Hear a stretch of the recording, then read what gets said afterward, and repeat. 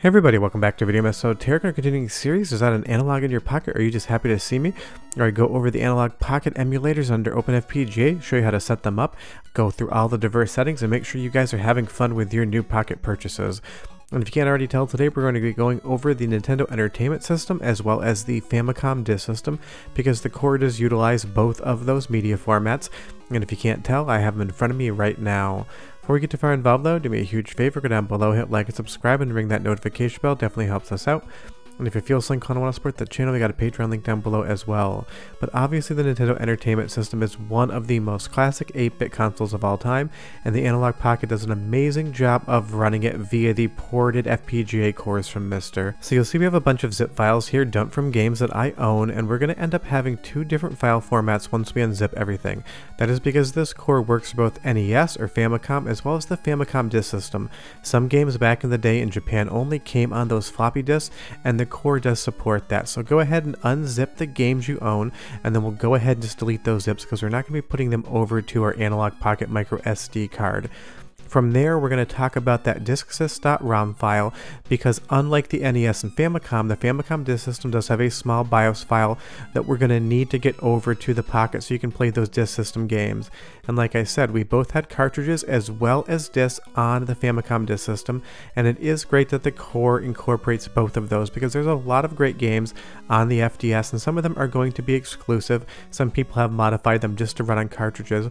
And if you follow this tutorial correctly, you're going to have both formats of the NES running on your analogue pocket, and that's absolutely what we want to have here. But there's a little bit of a caveat on that disksys.rom file. If you obtain it via other means, you're going to see it comes through with this name.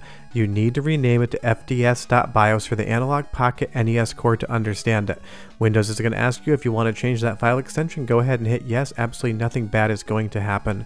But you need to rename the file to fds.bios or else the NES core is never going to actually see it and you're going to have an absolutely bad time dealing with FDS games. But now that we have absolutely everything we need, we're going to go ahead and hit copy. We'll move over to wherever that micro SD card is. You'll see all of the different folders. We go under assets here. And if for any reason you don't have the folders, I do have a setup guide tutorial so you can use Pocket Updater to get this all lined up for you. This is not going to be something that the Analogue Pocket auto-populates when you put that SD card in. You do need to select an updater. So if you need that, the link is in the description below. But once we actually get to the assets folder, there is no folder for Famicom Disk System. It's not Famicom Disk System, not FDS. Absolutely everything is going to go in the NES folder under Common. You're going to see we have two cores for the Famicom Disk System. We'll talk about that in just a moment. And because I already have done some testing, they do have that BIOS file already there. If it's there for you, awesome, because you ran updater. If it's not, you've added it in right there. I'll just go ahead and skip that file because we don't need it anymore. But now you'll see we have all of the files we want to try to test and play, the .fds file, the .nes files, and all of the different BIOS things we need. So if we actually go into OpenFPGA and pick a game, we should have it just booting up, no big deal whatsoever. The screen does flash black, but then you were into an NES title, obviously in this instance Super Mario Brothers 3. And it's great to see that running on the Pocket. As we run around here, everything just seems to be working perfectly fine. You do have some really fun options within the core settings though. We'll go over the controls first and you're going to see that there's an insert disk and insert coin option. That is because you can use arcade ROMs for this as well as the Famicom disk system, so be aware that those are mapped to the two shoulder buttons. By default, all the controls seem amazing, but you can change them. But my favorite part right now is the palette folder. We can change the look and feel of the NES games because we do have those palettes. Now there's three in there by default, but you can certainly find more out there in the wild and you just add them to that palettes folder. Just gives you a different way to have a different look for games that you're familiar with and really kind of dial in everything else you might want to do. When I take a look at the right hand side of the screen here, you're going to see that something pops up, those little green blocks, the sprites at the corner. That is because of the way the Nintendo Entertainment System hardware works we have an overscan option which is going to expand the screen size and it's going to cover some of that pop-in but it's also going to end up taking a little bit of the screen real estate off. So you get to decide whether or not you want to use overscan or not. For me I leave it off because I like seeing exactly the image that I would expect to see but get to know that you do have the option to be able to do that take a look at the top of Mega Man here, watch in the background, we have all of those blocks up there on the ceiling. If we do overscan on, all of a sudden some of them are going to go away. So this is actually taking away art from the screen. This is with overscan on. See that little red block at the very top? If we take overscan off, now go back into the game, there are more graphics at the top. So you can do whatever you want with overscan, but I want you to be aware that it does exist. I prefer to leave it off, but your mileage may vary. Game to game dependent, you pick what works well for you. And do be aware that there's more than one core for the NES. If you go down to change core, we have the spiritualized core, as well as the core from AG23 ported over from MiSTer. You can play around with both versions. You're going to see basically similar results though. But if we want to load up into a new game, something like the Famicom Disk System, go ahead and select the FDS file right here. You're going to see that it's going to automatically load the floppy disk and you're going to be off to the races. But some games use both sides of the floppy disk, so if you do need to change the disk, it's going to give you that option in the game. That's why we have the controls for Famicom Disk System as far as inserting a disk. But playing around with Famicom Disk System is a ton of fun, but it always does seem to trip a lot of people up because it's a completely different format and it does require a different understanding of how the hardware works. But it is awesome that we have Famicom Disk System support as well because there are a ton of good exclusives. And like I said just a moment ago, if you need to insert a disc, that's going to be on the right hand shoulder button for that disc swapping. But you can play around with all the controls however you want. But definitely start reading about Famicom Disk System games if you never have. They are totally fun. Now as far as other options, we have 16 sprites per line, which will remove a little bit of flicker. We have a FDS mode, which you should leave as auto. That way it's going to detect it, and you'll be off to the races playing these games. But again, if we go into the settings, you're going to see here 16 sprites per line.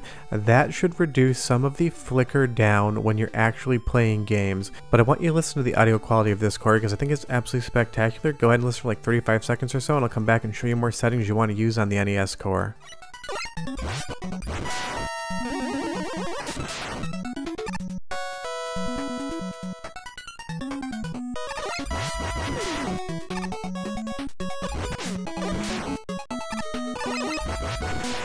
you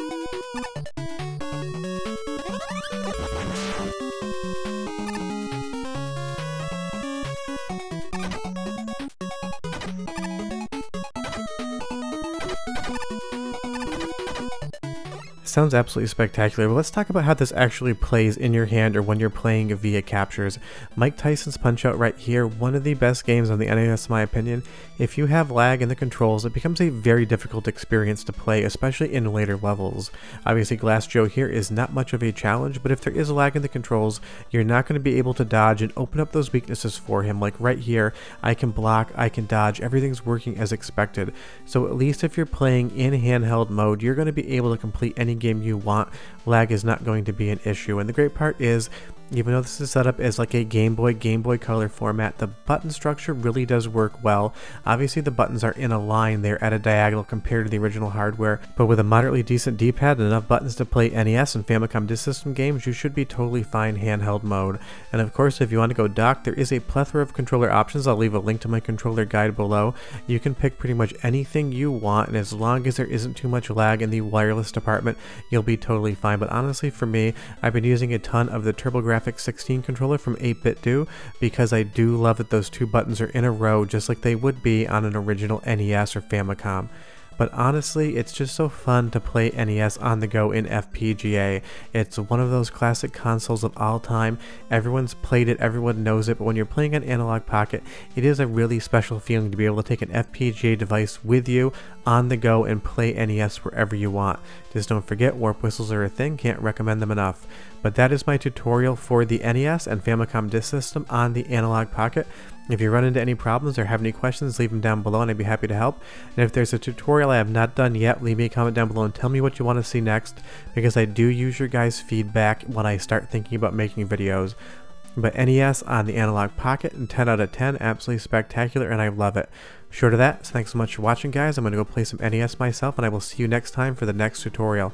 Have a good one. Bye bye.